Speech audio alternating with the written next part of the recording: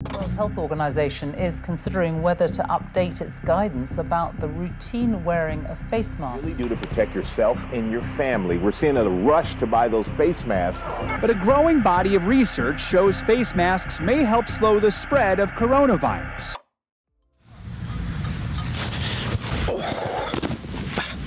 Right, let's be real about something. That is two things that are ticking me off about this lockdown stuff.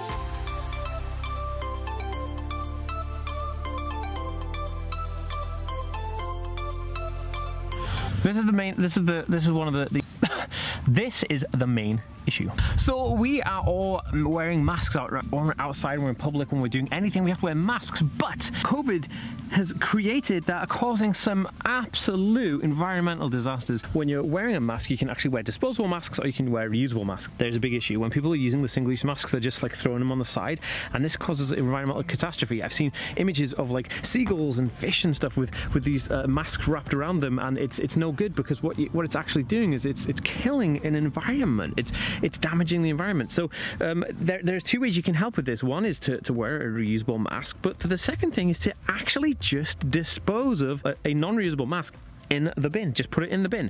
That would stop all these horrible images that you kind of you've seen with with all this stuff going on because it just beca becomes an environmental catastrophe. Now the second thing, like one of the biggest things that I found, what happened as soon as lockdown was lifted, littering and trash became an unsightly eyesore. Actually, it's doubled, it's increased because now you have masks, you have rubbish from just consumer products. So please think about the future.